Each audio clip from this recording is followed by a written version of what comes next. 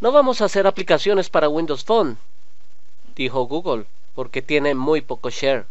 Después de esto, decidió eliminar el soporte a la tecnología EAS, que es la que permite que podamos tener el correo Gmail integrado en nuestro teléfono junto con todos los otros correos que tengamos. Por si fuera poco, en estos días hemos visto cómo a Microsoft le ha quedado muy complicado, imposible de hecho, generar una aplicación de YouTube para Windows Phone que tenga la misma calidad y las mismas características de la versión para otras plataformas como iOS, que naturalmente no tienen un motor de búsqueda que le compita a Google. Pero ahí no para la cosa. Miren qué sucede si yo intento acceder a los mapas de Google desde mi Windows Phone.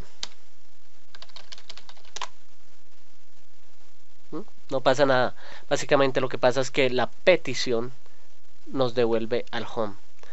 Vamos a intentarlo ahora buscando Google Maps desde el mismo buscador de Google y escogiendo la dirección directamente. Tampoco nos deja entrar. Entonces, no apps de Google, no YouTube, no Gmail y ahora tampoco tenemos Google Maps.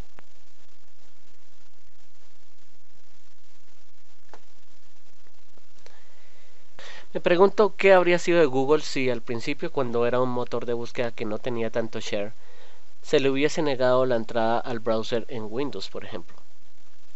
Muy bien lo dijo Confucio alguna vez, el hombre sabio busca la grandeza en sí mismo, el que no lo es, la busca en los demás. Creo que sería más productivo engrandecer el producto propio antes de tratar de sabotear el de los demás. Por ahora no es más. Hasta pronto.